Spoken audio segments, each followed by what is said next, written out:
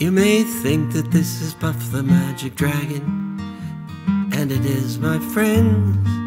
But before I sing it, I should let you know that Puff is not about marijuana. Sorry to disappoint you. That rumor is spurious, and here is why that's true. In 1959, when it was written by Lenny Lipton and me, we were at Cornell, known as a wonderful Ivy League university. And at that time, there were no drugs at all. Grass had not come from the West Coast to be with us there. The worst thing we did was go on a panty raid, my friends, or have beer in the dorms, or a girl.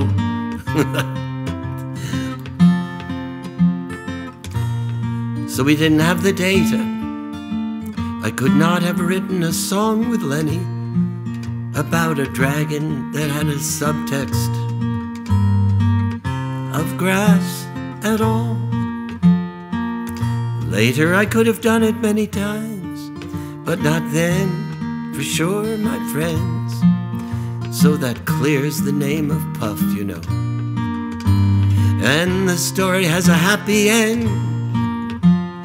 Puff, the magic dragon, lived by the sea and frolicked in the autumn mist in a land called Honah Lee.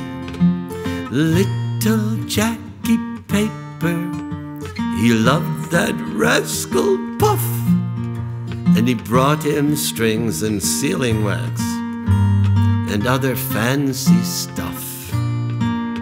Oh, Puff, the magic dragon, lived by the sea, frolicked in the autumn mist in a land called Honah Lee. Puff the magic dragon is very well known all over the world. In fact, it's known by young people, three and four years old, that get up and sing it at concerts, and I'm astonished that they still know the words. Okay, back to the song now. Together they would travel on a boat with billowed sail. Jackie kept a lookout perched on Puff's gigantic tail. Noble kings and princes would bow whene'er they came. Bow, bow, bow, bow. There we go. Pirate ships would lower their flags when Puff roared out his name. Puff, the magic dragon, lived by the sea, frolicked in the autumn mist in a land called Honah Lee. Puff, the magic dragon, lived by the sea and frolicked in the autumn mist in a land called Honah Lee. The dragon lives forever, but not so little girls and boys. Painted wings and giant's rings make way for other toys. One gray night it happened Jackie Paper came no more. And Puff, that mighty dragon, he ceased his fearless roar. His head was bent in sorrow, green scales fell like rain. Puff no longer went to play along the cherry lane without his lifelong friend.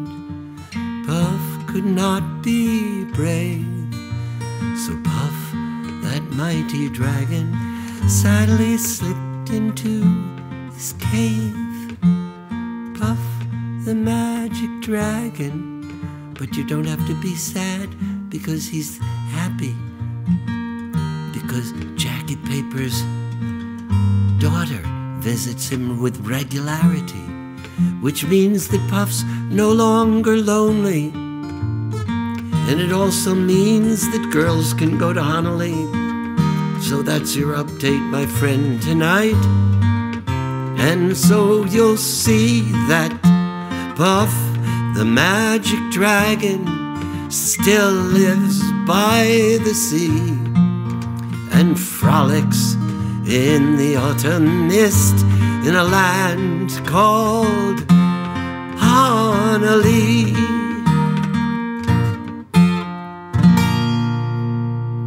Yay! Applause. More applause. More applause.